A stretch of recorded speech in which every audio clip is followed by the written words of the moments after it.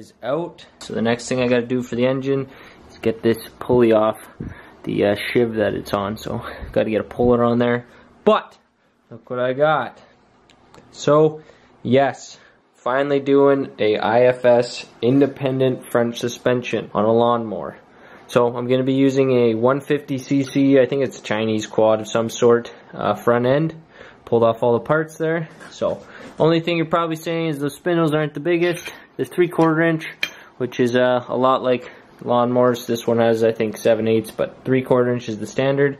But uh, yes, these will break, and when they break, I'll build better ones. But until then, I'll try running them. They work with the rims and the new tires I got. I uh, ended up cutting a lot of the frame in here out because I'm going to be moving the motor over, taking all the front axle end, and then I'm actually going to be moving the uh, center line of the front axle forward so that I can gain a little bit of wheel uh, base on this build. Super cool about to happen, some steering geometry. I cut off the side steering. Now it's underneath, so I'll be going over that. But this thing's going to be freaking awesome. This build's starting to come together a lot faster than I thought. This is day three on it.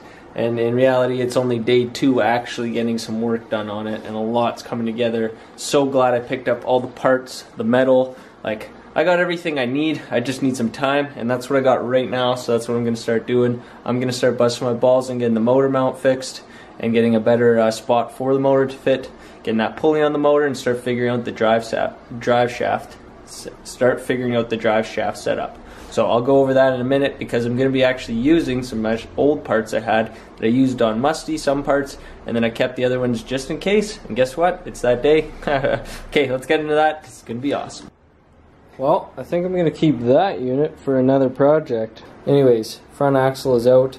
Started to clean the frame because, uh, wow, it was freaking dirty.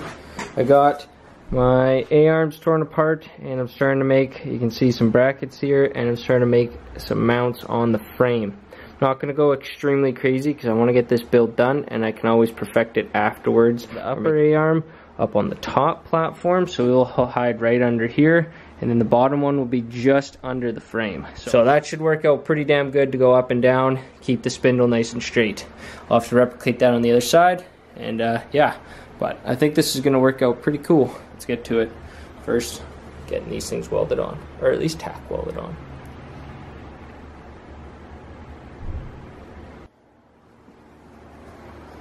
Check it out.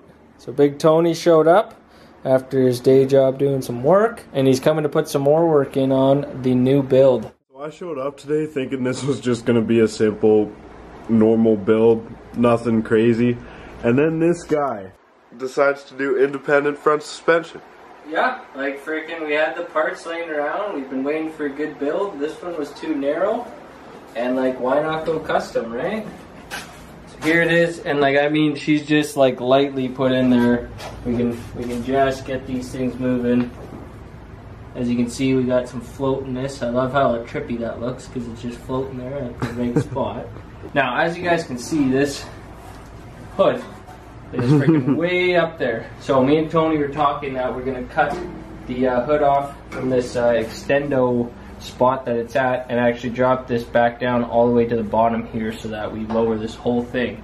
And then the engine will sit up right here, nice right at the hood, and it'll be decent. Now if we come over to the other side here, while I was doing all this kind of stuff, Tony's been working extremely hard, cutting out cardboard and stuff to make the uh, running boards uh, for these guys. We're making them out of uh, three sheet metal pieces. Tony's been uh, getting some metal cut out here. It looks rough right now, but that's just because we just got holes drilled. But I made this simple dimple die here. Nice little laid out piece. And then we're going to be hole sawing this out with our little hole saw set. Throwing it in the press, dimple dyeing it through the metal, and then we'll have some nice foot running boards with a little bit of grip because we'll put the dimple dies reverse how they should be or uh, I don't know it depends on how you want your dimple dies but we'll put them up so that your feet kind of have something to grip on but Tony's been going hard at making these pieces we got a few more to cut out so normal so normal lawn tractor is usually 48 inches and we're sitting at to center we're at 49 and I'd say a quarter so we stretched it about an inch and a half or an inch and a quarter, however you want to look at it. This one just was just shy of four feet. 48 inches is like 47 and a half. From factory. So that one to two inches, three inches, four inches of stretch that you add to your mower can make a huge difference when you're hill climbing. And adding some width to your lawnmower can make a huge difference when you're hill climbing if you're on a, uh, an off kilter uh, side angle, so you're just on a somewhat off camber spot. Uh, so adding that width will help tremendously. Along with having wider tires, we find out helps as well. But I mean, you guys have seen Musty get on quite the angles, and I haven't rolled over. It's all about where you put your weight. Let's get right back into it, Tony, and start grinding and cutting up and get some dimple diage going. Yeah, let's do it. All right, me and Toe hard at work. Toe's been uh, drilling out some holes for the dimple die. We just perfected the dimple die. We had to do a bit more lathing to actually get it to work, but we got it to work as it should.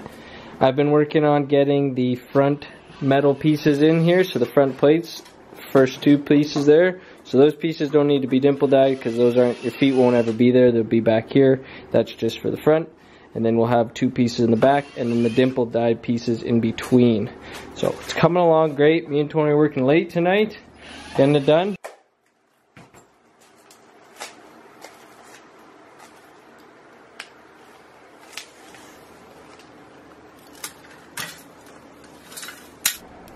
So as you can see, you just push that through, insert that, toss her in here. As you can see, she's like, it like doesn't take much to do it. And we're gonna go right about, ah, ah, right about there. Then just like that, if you're not holding it, pops right out. And you got what I would call perfect dimple die for a homemade dimple die. We're doing this side up, so like that's like no imperfections. Unreal. Okay, let's do it. What's this? 100 more times.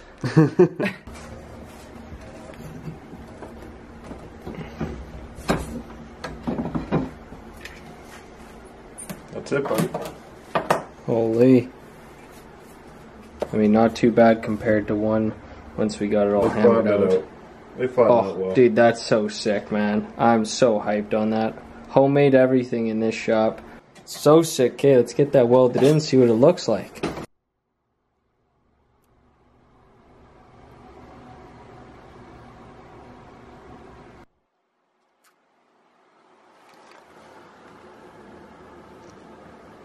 Alright, as you guys can see, the dimple dies turned out amazing. This adds so much grip for your foot. That's where your foot's going to be, and then the pedal will be right up here, kind of where the dimple die is sitting, but it'll be in the frame, because the clutch that came off the other side, if you can see the original hole, it sat in a good spot, it was just on the wrong side. So we'll just reenact that hole onto this side, and we'll get it all done. Along with that, the front suspension is mocked up. All the brackets are installed. They're just literally just welded in right now. Nothing crazy. There's no supports whatsoever on all of them. It's just one bracket per unit right now. The tops are basically how they're going to be. The bottoms need a front support on this side and then a back support on the rear side. So a few more brackets get made and then they all need to be uh, gusseted and reinforced so that they don't bend or anything. But, I mean, it's coming together. The spindles sit at a pretty decent angle towards each other and I can adjust them with the uh, knobs there. Probably wondering about steering too because uh, well, how the hell do you steer all this stuff? You'll be seeing that soon, so I'll be getting to that later. But let's get some more uh, reinforcement done, maybe even lower the hood down and get it all going. But I'm loving this.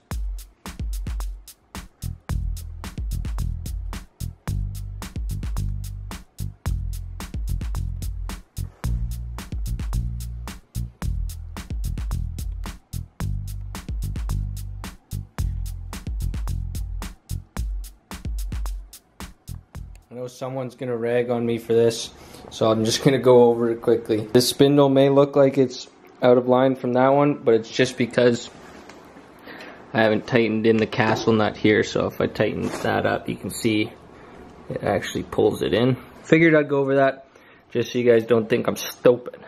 Anyways, more reinforcement coming at you right about